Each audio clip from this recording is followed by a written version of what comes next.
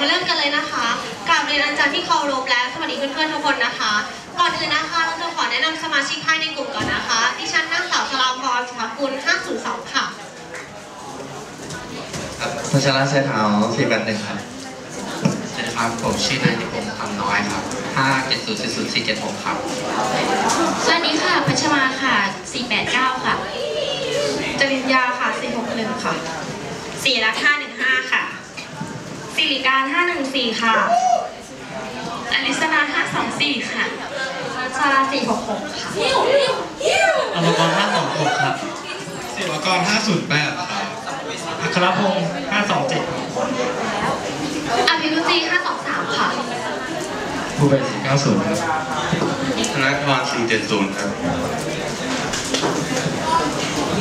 ค่ะ และในวันนี้นะคะพวกเราก็จะมานำเสนอในเรื่องสถานที่ท่องเที่ยวในประเทศไทยค่ะ อย่างที่ทราบกันดีนะคะว่าในประเทศไทยนั้นมีสถานที่ท่องเที่ยวมากมาย ทั้งทางน้ำและทางบก เช่นทะเลภูเขาป่าไม้ ซึ่งล้วนเป็นดินแดนที่มีความอุดมสมบูรณ์ทั้งนั้น ในวันนี้พวกเราก็เลยจะนำเสนอพาทุกคนไปดูสถานที่ที่สำคัญในแต่ละภูมิภาคกันเอาละค่ะเราไปดูกันเลยดีกว่าค่ะว่าแต่ละภูมิภาคนั้นจะมีสถานที่อะไรน่าสนใจบ้าง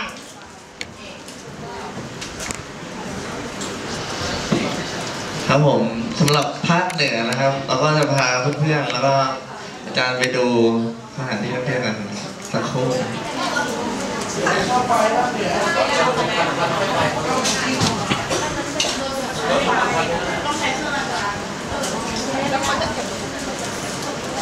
สถานที่ท่องเที่ยวที่แรกที่จะพาไปก็คือวัดล่องขุนนะครับวัดล่องขุนอ่าวัด ละคุณอยู่ที่อำเภอเมืองจังหวัดเชียงรายนะครับ ออกแบบและก่อสร้างโดยอาจารย์เฉลิมชัยโคสิทธิพิพัฒน์ครับตั้งแต่เมื่อสมัยพศ 2540 จนถึงปัจจุบันนะครับ โดยอาจารย์เฉลิมชัยเนี่ยได้คาดว่างานก่อสร้างวัดล่องขุนอย่างนี้ จะยังสร้างไม่เสร็จภายในช่วงชีวิตของตนแน่นอนครับ โดยวัดล่องขุนก็ถอดแบบมาจากวัดมิ่งเมืองนะครับ จังหวัดน่านครับผมไปดูที่ต่อไปกันเลยดีกว่าครับบ่อสร้างแล้วกันครับ บ่อสร้างครับ โดยประวัติก็คือในสมัยโบราณเนี่ยได้มีพระธุดงค์นะครับ มาปักกฎที่บ้านบ่อสร้างอำเภอสันกำแพงจังหวัดเชียงใหม่นะครับ แล้วก็ปรากฏว่าได้เกิดเอ่อลมพายุพัดจนกฎเนี่ยพังเสียหายจนมีชายชราคนหนึ่งนะครับชื่อว่านายเผือกได้เข้ามาซ่อมกรดให้แล้วก็เห็นว่าเอ๊ะถ้าเกิด กดเนี่ยมีเหมือนคันล่มยาวๆก็น่าจะใช้งานได้สะดวกดีนะครับ ก็เลยดัดแปลงใส่คันล่มเข้าไปในกดนะครับ จนกลายเป็น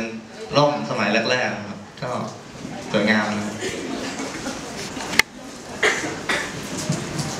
ต่อไปก็จะเป็นวัดภูมินนะครับ วัดภูมินนี้ก็จะตั้งอยู่ที่บ้านภูมินจังหวัดน่านนะครับเเดิมนี่ชื่อว่าวัดภูมิน เป็นวัดที่แปลกวัดอื่นก็คือเป็น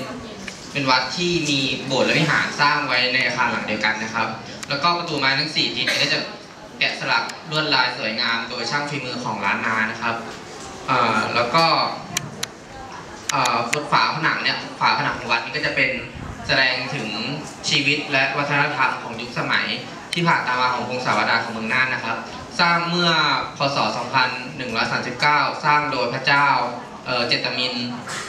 เอ่อพงเอ้ยเจตบุตรพรหมมินนะครับโทษทีต่อไปเลยนะครับ ต่อไปก็จะเป็นผาหัวสิงนะครับ ป่าหัวสิงนี้จะตั้งอยู่ที่อุทยานแห่งชาติสีน่านนะครับลักษณะของผาหัวสิงนี่จะเป็นคล้ายกับสิงโตนอนหมอบหันหน้าไปทางทิศตะวันออกนะครับ แล้วใกล้แล้วก็ใกล้กับจุดชมวิวดอยเสมอดาวด้วยบนผาหัวสิงนี้ก็จะ เป็นเป็นบนผาครับ สามารถมองเห็นจุดชมวิวได้ 360 องศาเลย แล้วก็เป็นสถานที่ท่องเที่ยวที่มีจุดชมพระอาทิตย์สวยอีกจุดหนึ่งของประเทศด้วยครับ ขอบคุณข้อมูลดีๆจากภาคเหนือด้วยนะคะ ต่อไปเป็นภาคอีสานกันบ้างนะคะ ที่แรกเลยนะคะก็จะเป็นเมเปิลแดงในป่าปิดนะคะ อันนี้จะอยู่ที่จังหวัดเลยนะคะ หรือว่าภูกระดึงนะคะ เป็นภูเขาสูงนะคะ ที่โด่ง ภาคอีสานเลยก็ว่าได้นะคะ เมเปิลแดงนะคะจะผลิไปในช่วงที่ฤดูหนาวนะคะ หรือว่าที่อากาศเย็นและเยือกนะคะ ถ้าใครได้ไปนะคะรับรองว่าต้องหลงในมนเสน่ห์ของเมเปิลแดงแน่นอนค่ะ ต่อไปค่ะ ที่ต่อไปเป็นป่าคำชะโนดนะคะ อันนี้หลายคนคงจะเคยได้ยินประวัติใช่ไหมคะอ่าก็คือเป็นอ่าเป็นตำนานพื้นบ้านนะคะของชาวอีสานนะคะ ก็คือว่า เชื่อว่าเป็นที่สิงสถิตของพญานาคนั่นเองนะคะ แล้วก็มีเรื่องราวลึกลับน่ากลัวมากนะคะ อย่างเช่นเรื่องอ่าผีจ้างหนังเคยได้ยินไหมเอ่ยอ่าโด่งดังมากในภาคอีสานเลยนะคะ ถ้าใครได้ไปก็สามารถเข้าไปทำบุญได้นะคะจะมีอ่าเป็นบ่อมรกตนะคะ เป็นบ่อพญานาคนะคะน่าค้นหามากเลยค่ะ ต่อไปเลยค่ะ ค่ะ ต่อไปนะคะเอ่อเอามอหินขาวดีกว่าค่ะมอหินขาว หวัดชัยภูมินะคะ จะเป็นลักษณะกลุ่มหินขนาดใหญ่สามกลุ่มค่ะ แล้วจะมีอีกหนึ่งกลุ่มที่เป็นสีขาวค่ะ เป็นที่มาของคำว่ามอหินขาวนะคะ แล้วก็จะมีเสาหลัก 5 ต้นตั้งเรียงกันสูง 12 เมตรนะคะ จะมีลักษณะคล้ายเรือหรือเจดีย์ค่ะ ค่ะต่อไปค่ะ 3,000 โบกค่ะ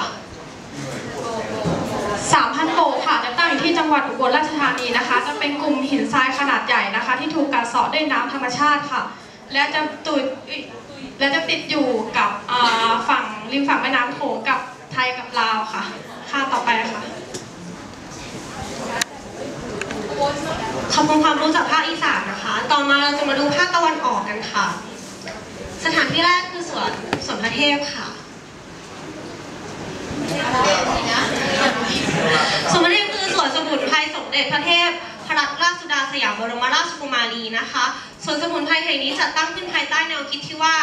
วิธีมิติการเรียนรู้ด้านสมุนไพรอย่างสนุกสนาน โดยได้รวมข้อรวบรวมข้อมูลสมุนไพรมากกว่า 20,000 ต้นหรือ 260 ชนิด ซึ่งเปิดให้ผู้ชมสามารถเข้าชมได้ปกติค่ะ ให้สามารถเข้าไปเยี่ยมชม ศึกษาหาความรู้ด้านพฤกษศาสตร์ และสมุนไพร ซึ่งในช่วงเดือนเมษายนของทุกปีก็จะมีการจัดเทศกาลดอกไม้เมืองหนาวด้วยค่ะ ต่อมาจะเป็นเกาะทะลุนะคะ ค่ะเกาะทะลุจะเป็นป่าทึบค่ะ ฝั่งทิศตะวันตกจะเป็นหน้าผาสูงชัน ทิศตะวันออกและทิศใต้จะเป็นหาดทรายขาว น้ำใสสามารถเล่นได้ค่ะ ฝั่งทิศตะวันออกจะมีแนวปะการังค่ะ เหมาะแก่การดำน้ำทั้งน้ำตื้นและน้ำลึก ที่ที่มาที่มาของชื่อเกาะและจุดเด่นของเกาะก็คือช่องหินค่ะ หรือโพรงหินธรรมชาติบริเวณแหลมหินค่ะ ตรงช่องว่างตรงกลางของเกาะทะลุนะคะ จะสามารถลอดผ่านได้ค่ะ นักท่องเที่ยวส่วนใหญ่ก็ก็จะก็จะซื้อแบบวันเดย์ทริปจากเกาะเสม็ดอะค่ะ มาเที่ยวรอบเกาะแล้วก็มาดำน้ำดูปะการังค่ะโอเคค่ะ เมื่อกี้เราไปเกาะเสม็ดกันแล้วนะเราขยับเข้ามาใกล้กันอีกนิดนึงดีกว่า เดี๋ยวที่ต่อไปจะเป็นพัทยานะคะ ก็จะเป็นปราสาทจันทธรรมค่ะ ปราสาทจันทธรรมนะคะ หรือชาวบ้านเรียกกันว่า วังโบราณหรือว่าปราสาทไม้ก็คือตัวปราสาทจันทธรรมเนี่ยคือจะทำจากไม้ทั้งหมด ไม่ว่าจะเป็นพวกกรประตู หรือว่าพวกตัวล็อกต่างๆ คือจะไม่มีการใช้ตะปูเลยเป็นไม้ล้วนทั้งหมด แล้วก็ภายในของปราสาทจันทธรรมเนี่ยก็คือจะมีถ่ายทอดเรื่องราวเกี่ยวกับศาสนาอารยธรรมจริยธรรมแล้วก็วัฒนธรรมต่างๆ พวกรูปปั้นองค์เทพต่างๆเนี่ยก็จะแสดงสื่อถึงความหมายเกี่ยวกับจริยธรรมแล้วก็ด้านศาสนาต่างๆค่ะ ต่อไปค่ะ ต่อไปเป็นพิพิธภัณฑ์ยางพาราพิพิธภัณฑ์ยางพาราหรือว่าลับเบอร์แลนด์นะคะ เป็นอุทยานเชิงท่องเที่ยวที่เกี่ยวกับยางพาราแห่งแรกในเอเชีย ที่เพิ่งจัดตั้งขึ้นในประเทศไทยของเราอยู่ที่พัทยานะคะ ช่วงนี้เข้าฟรีด้วยแต่หลังจากนี้จะเก็บตังค์คนไทยน่าจะเกือบเกือบร้อยแต่ว่าชาวต่างชาติเหมือนจะแบบ200กว่าบาท จงภูมิใจเถิดที่เกิดเป็นคนไทยแล้วก็ข้างในไทยแล้วก็ข้างภายในนะคะจะแบบแบ่งโซนเป็นโซนย่อยๆที่ ความรู้เกี่ยวกับยางพาราตั้งแต่ยางพารามาจากไหน พอได้แล้วสามารถแปลรูปเป็นอะไรได้บ้าง แล้วพอแปลรูปเสร็จยางพาราไปไหนนะคะ อย่างเช่นในรูปนี้ก็คือจะเป็นสวนเป็นสวนเขาเรียกสวนป่าชายเลนจากยางพาราก็คือพวกนี้ก็จะเป็นทำจากยางพาราเป็นสวนจำลองค่ะค่ะ เราไปเที่ยวภาคตะวันออกกันมาแล้วนะคะ ต่อไปไปที่ภาคกลางเลยค่ะ ค่ะ สถานที่แรกที่จะให้เพื่อนๆไปก็คือ วัดท่าอิฐนะคะ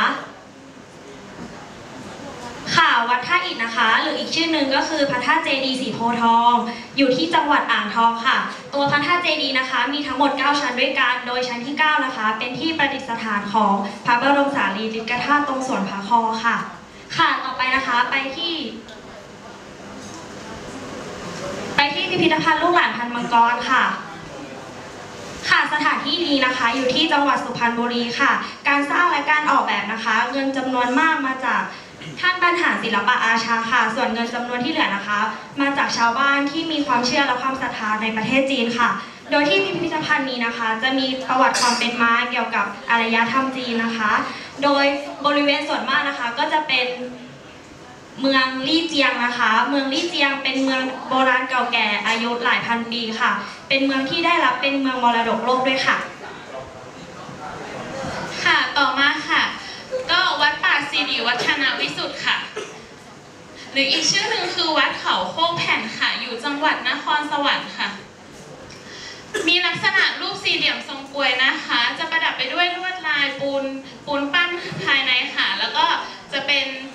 เจดีย์มีพระพระพุทธรูปปางนั่งและยืนค่ะ ต่อมาค่ะ อุทยานประวัติศาสตร์สุโขทัยค่ะ อยู่จังหวัดสุโขทัยนะคะ ซึ่งเป็นมรดกโลกก็ว่าได้ค่ะ หรืออีกชื่อหนึ่งคือเมืองประวัติศาสตร์สุโขทัยและเมืองบริวารค่ะ ถ้าหากเพื่อนเพื่อนคนไหนที่ชอบถ่ายรูปนะคะ การถ่ายรูปประวัติศาสตร์ที่นี่จะมีความสวยมากค่ะ เพราะว่าแสงอาทิตย์อะไรมันก็จะลงตัวค่ะ พบกับภาคต่อไปเลยค่ะค่ะขอบคุณข้อมูลดีๆจากภาคกลางนะคะเรามาชมภาคตะวันตกดีกว่าค่ะอ่าสถานที่แรกนะคะถ้ำเขาหลวงค่ะ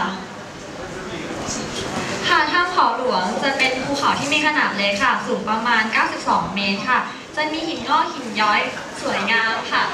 ภายในถ้ำจะมีปล่องแสงพระอาทิตย์สามารถส่องแสงเข้าไปได้ทำให้ในถ้ำสวยงามมากยิ่งขึ้นค่ะ สถานที่สองนะคะน้ำตกทีรอซูค่ะทีรอซูค่ะน้ำตกทีรอซูนะคะจะเป็นน้ำตกที่สวยงามที่สุดในประเทศและยังติดอันดับน้ำตกที่สวยงามที่สุดในโลกอีกด้วยค่ะ น้ำตกทีรอซูเนี่ยอ่า ช่วงหน้าฝนเนี่ยจะเป็นช่วงที่สวยงามที่สุด น้ำในลำธารจะมีขนาดเพิ่มมากขึ้น จะมีปริมาณเพิ่มมากขึ้นทำให้น้ำตกมีความกว้างใหญ่และสวยงามกว่าฤดูอื่นค่ะ แต่ว่าไม่แนะนำให้นักท่องเที่ยวมาท่องเที่ยวในช่วงฤดูฝนนะคะ ให้ท่องเที่ยวในช่วงฤดูปลายฝนต้นหนาวค่ะ เพราะว่าจะทำให้ไม่เกิดอุบัติเหตุและมีความสวยงามมากกว่าฤดูอื่นค่ะขอบคุณค่ะขอบคุณค่ะ อะครับต่อไปนะครับก็จะเป็นวัดป่าพระธาตุเขาน้อยครับ ที่นี่นะครับจะมีเอ่อจะมีเจดีย์นะครับเจดีย์ที่อยู่บนยอดภูเขานะครับ ชื่อเจดีย์พระธาตุอัฐินะครับอัฐิธาตุหลวงปู่เทศนะครับ ซึ่งในเจดีย์เนี้ยครับจะบรรจุเอ่อพระบรมภาษาลีลิกธาตุนะครับ แล้วก็เอ่อจะมีพระพุทธรูปแล้วก็จะมีเครื่องใช้ต่างๆนะครับ ซึ่งในเอ่อในปัจจุบันเนี่ยสถานที่แห่งเนี้ยเคยเป็น ที่ปฏิบัติธรรมครับ โดยจะมีพระภิกษุต่างต่างที่ครับจะมารวมกันที่นี่เพื่อปฏิบัติธรรมครับ เพราะว่าในสมัยก่อนพื้นที่แห่งนี้จะเป็นพื้นที่ที่ง่ายครับ ที่ง่ายในที่นี้หมายถึงว่าสภาพสิ่งแวดล้อมมันอุดมสมบูรณ์ครับ แล้วก็มันเงียบสงบเหมาะแก่การปฏิบัติธรรมครับ แล้วก็ในปัจจุบันนี้ก็เปิดให้นักท่องเที่ยวที่มีจิตศรัทธาครับ ได้มาสักการะบูชาแล้วก็เที่ยวชมครับ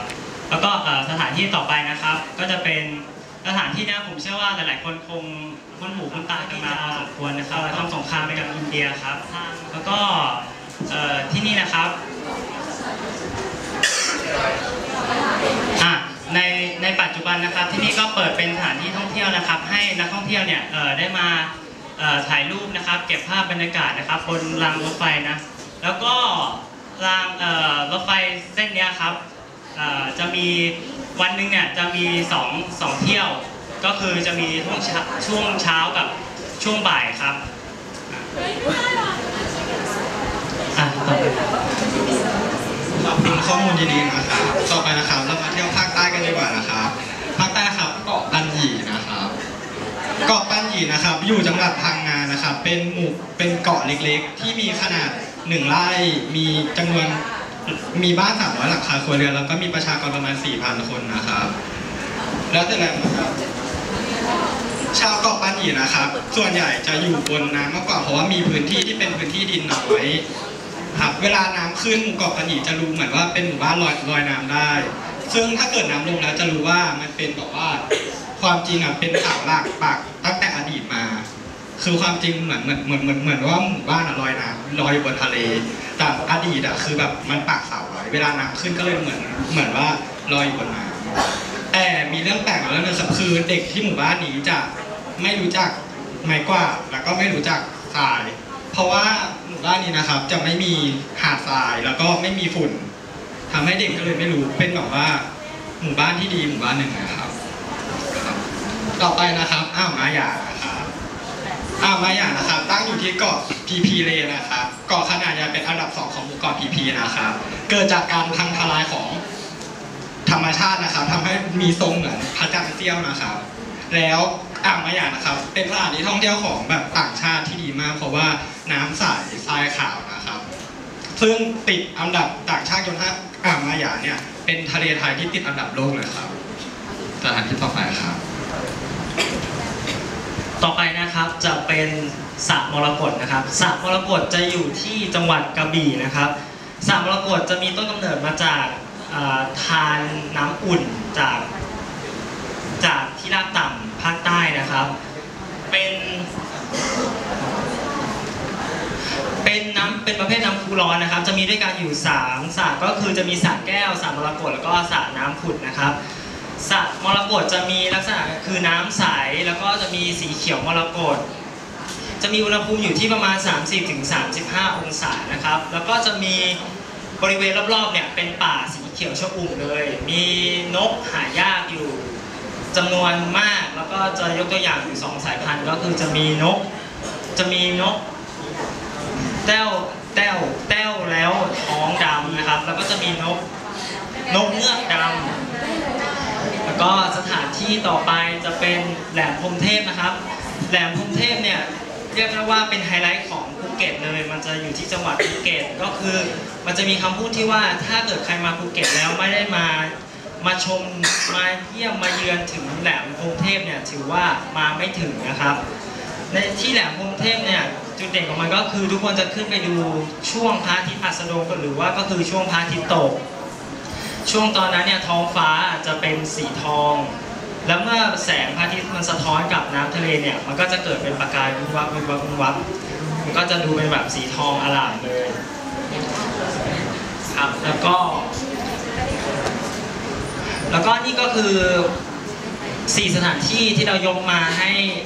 ดูในส่วนของภาคใต้นะครับ แต่ว่ายังไม่หมดเพียงเท่านี้เพราะว่าเรายังมีช่วงของเกมให้เพื่อนๆได้ลอง ตอบคำถามดูว่าจากที่นำเสนอไปแล้วเพื่อนๆจำสถานที่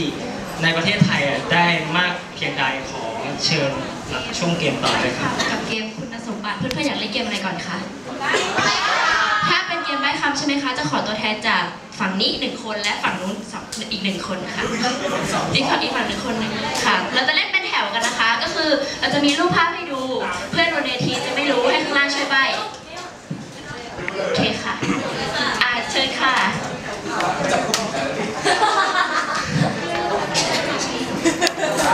เคค่ะ แล้วคราวนี้สองคนนี้ก็หันหลังไปทางนู้นอย่าแอบดูเดี๋ยวเดี๋ยวหันหลังไปทางโน้นหันหน้าหันหน้าไปทางหน้าหันหน้าไปทางนู้นโอเคหันหน้าไปทางนู้นนะคะ แล้วก็สองฝั่ง ฝั่งนี้ก็มาลีฝั่งนู้นก็เดียวนะ โอเค เปิดเลยค่ะนั่งแถวค่ะ และนี่คือภาพแรกของเราค่ะอะค่ะ เริ่มค่ะ วัดวั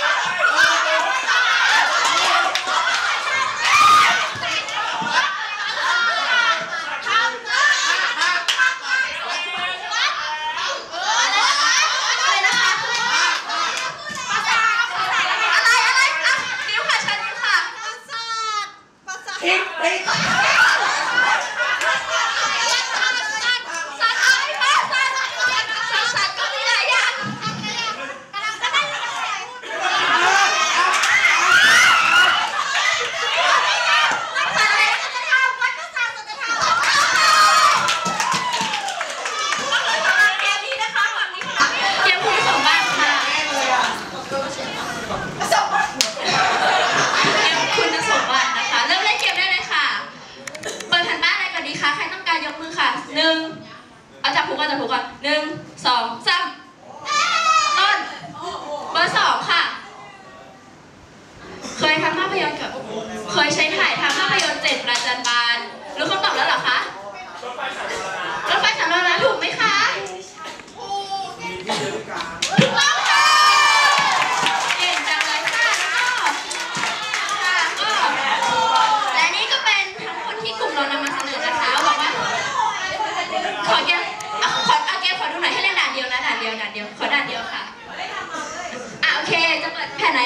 จับถูค่ะหนึ่ง